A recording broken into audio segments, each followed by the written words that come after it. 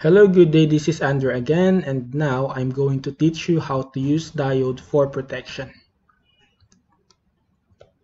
First, let's define what is diode. Diode is an electronic device that only allow the flow of current in one direction.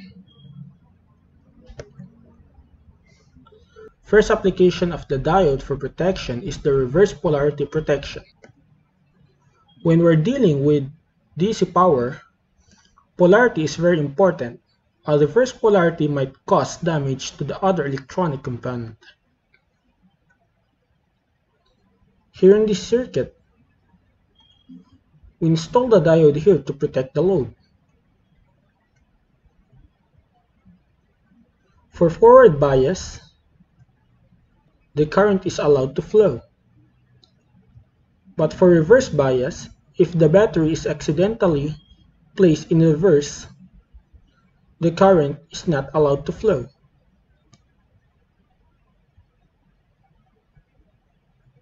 For this circuit, as you can see, the installation of a battery here or a source might not be in reverse because it might affect the capacitor and that may cause damage to voltage regulator also.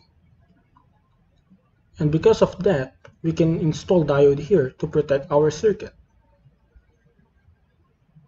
Another protection that diode can provide is stored energy protection.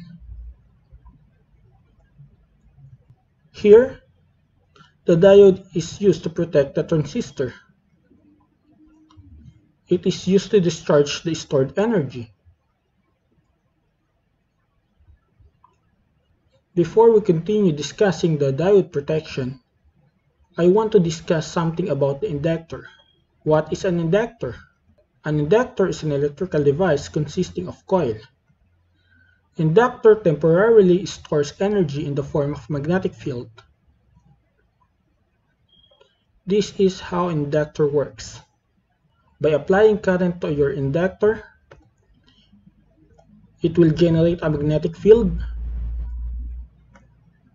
magnetic field remain for short period of time and that's the stored energy.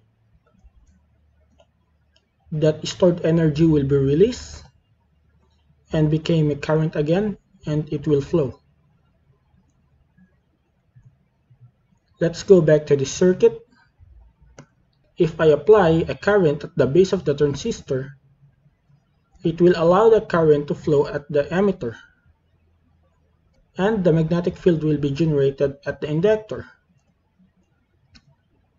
When I remove the current at the base, the current at the collector will be removed also.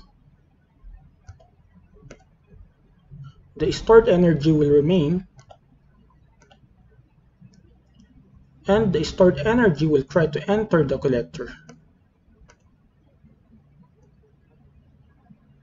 And because there's the current at the base of the transistor and there is a current remaining at the collector as time passes by the stored energy will cause damage to the transistor. By putting a diode here when we apply a current at the base it will allow the current at the collector to flow magnetic field will be generated. And a diode at reverse bias is an open connection. It means that the current will not flow at the diode.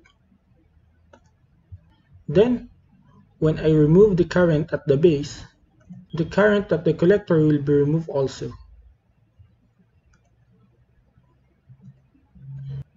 The stored energy will remain,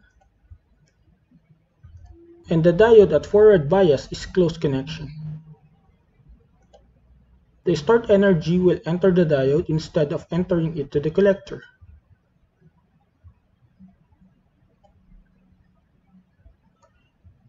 Let's try to make a demo between these two circuits.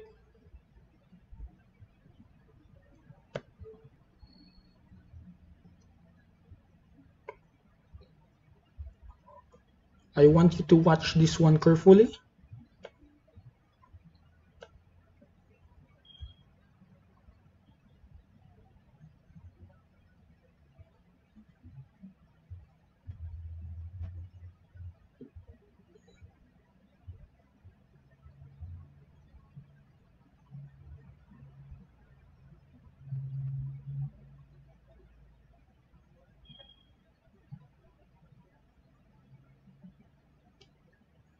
And that's it. Thank you for watching this video and please like my Facebook page and please subscribe to my YouTube channel.